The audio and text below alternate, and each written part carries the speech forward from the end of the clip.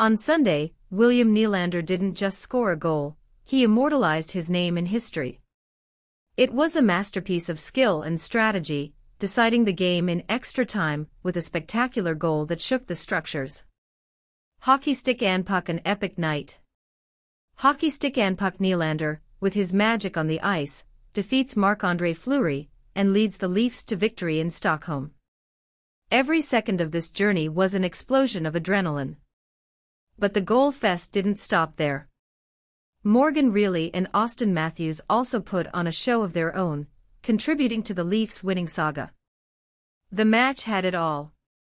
The Leafs, with a comfortable lead, saw the Wild react in the third period, transforming the ice into an arena of intense emotions. An electrifying turn that no one expected. Jake Middleton and Matt Zuccarello were the maestros of the comeback, showing that, in hockey, nothing is defined until the last second.